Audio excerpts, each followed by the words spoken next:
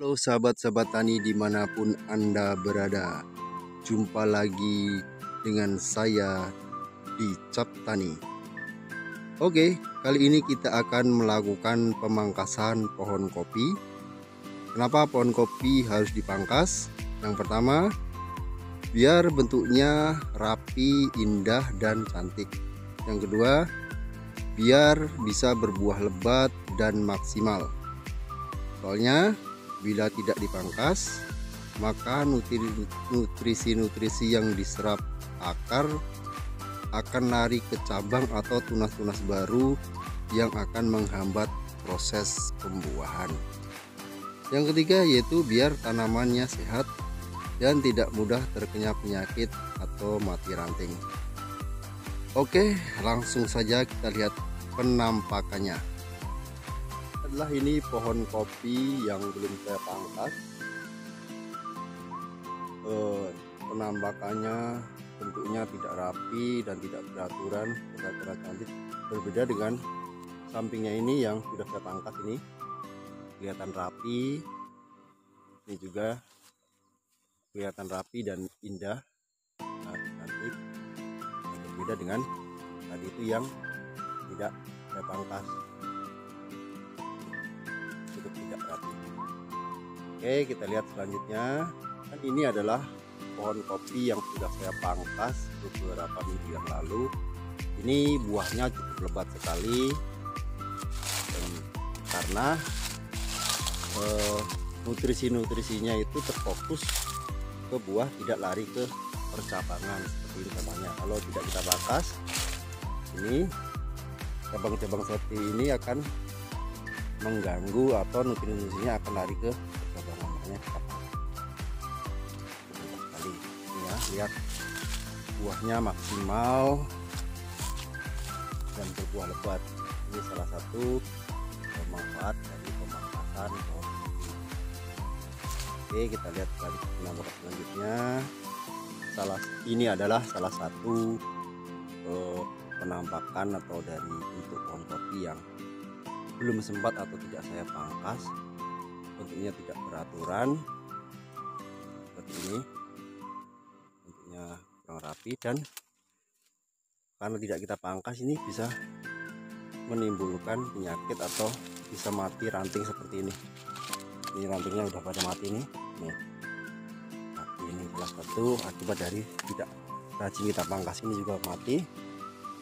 Rantingnya mati. Karena bila tidak kita pangkas maka dia akan terus tumbuh tinggi tinggi dan ranting yang di bawahnya ini akan mati dengan sendirinya. Seperti ini juga nih. Banyak yang mati. Matinya. Kelihatan mati. Ini juga.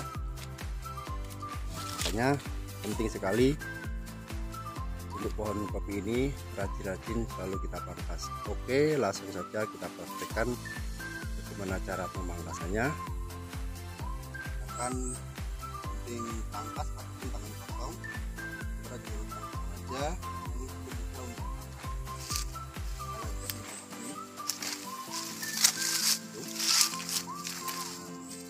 sangat mudah sekali memangkas. Ini mudah dipipil. Nah ini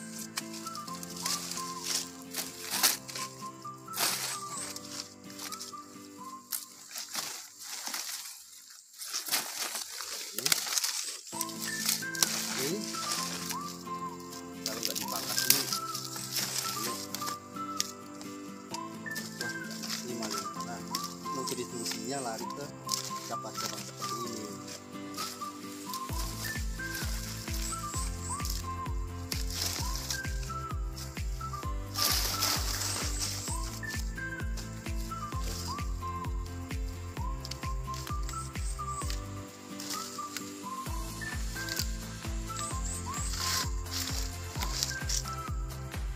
Ya ini hasil pemangkasan kita cukup cepat sekali hanya membutuhkan waktu beberapa menit atau bahkan beberapa detik. Oke selanjutnya kita akan tunjukkan satu pohon lagi pemangkasannya. Jadi kita langsung aja sana.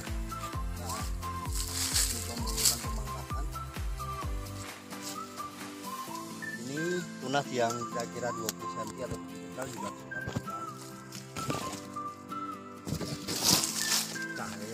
masuk setelah tunas ini juga kita pegang. Ini juga pegang karena ini tidak ada. Ini dari kelompok pertama. Usah heman-heman ya saya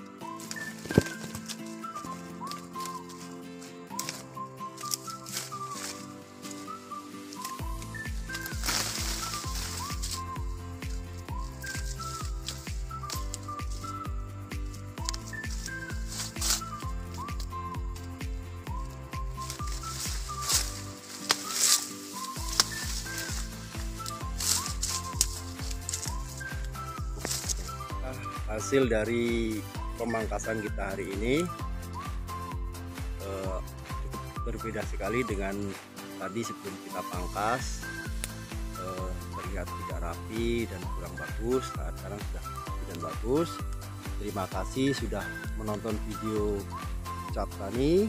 Oke jumpa lagi di video-video cap tani lainnya. Jangan lupa untuk subscribe cap tani Ingat, tidak ada petani yang gagal, yang ada adalah petani yang berhenti menanam.